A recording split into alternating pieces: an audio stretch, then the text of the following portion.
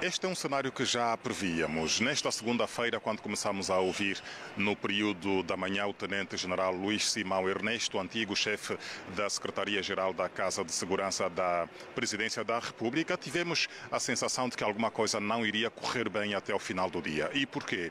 Porque, na verdade, o Tenente-General Luís eh, Simão Ernesto veio confirmar aqui dados que já tinham sido revelados por alguns desses 49 arguídos durante a fase de interrogatórios, quando diziam muitos dos pagamentos que fizeram entre 2008 e 2018 eh, nem sempre estavam ligados ao uh, trabalho uh, de natureza militar que é da incumbência da Casa de Segurança. Ou seja, estavam a dizer, por outras palavras, que algumas das verbas que lhes são eh, atribuídas como tendo sido desviadas não foram desencaminhadas. Foram, eh, na verdade, utilizadas para financiamentos eh, de atividades ou de ações políticas eh, entre 2008, 2012 e 2017, na véspera das eleições destes eh, três anos.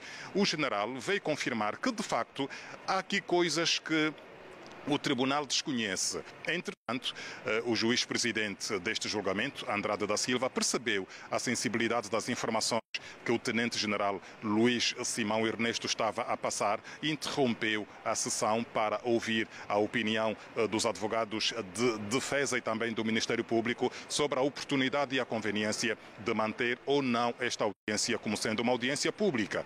E o conselho foi eh, que a audiência devia continuar a ser pública.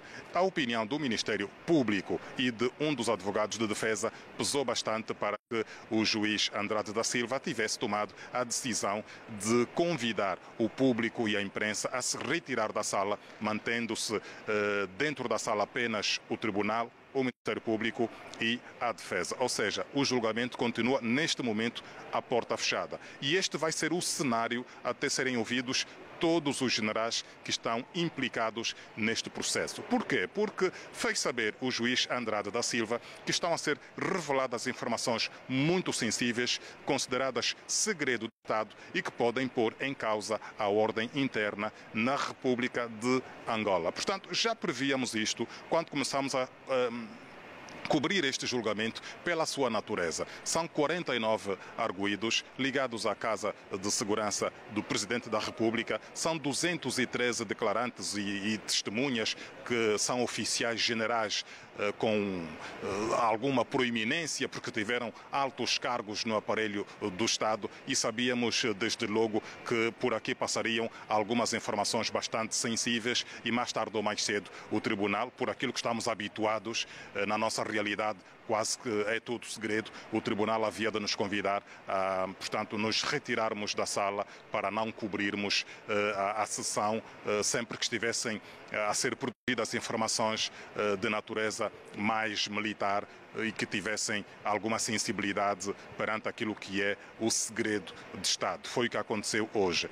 Durante o período da manhã, o Tenente-General Luís Simão Ernesto foi confrontado com algumas folhas de salários, também com algumas ordens de saque e algumas digamos que algum, algumas credenciais que davam poderes a alguns dos arguídos neste processo para fazer levantamentos de valores eh, no banco. Eh, BPC para o pagamento de salários, confirmou primeiro as assinaturas todas que constam das folhas são todas uh, verdadeiras, mas também eh, confirmou que havia alguma disparidade entre aquilo que se levantava e o que se pagava porque nem sempre correspondiam com aquilo que era verdadeiramente o valor da folha de salário de determinada unidade que dependia eh, da UGP, ou seja, eh, da unidade da Guarda Presidencial.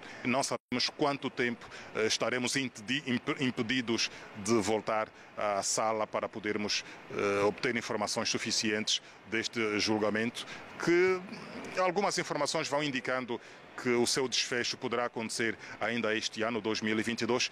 Outras mais pessimistas apontam o ano 2023 como o ano provável para o desfecho deste julgamento.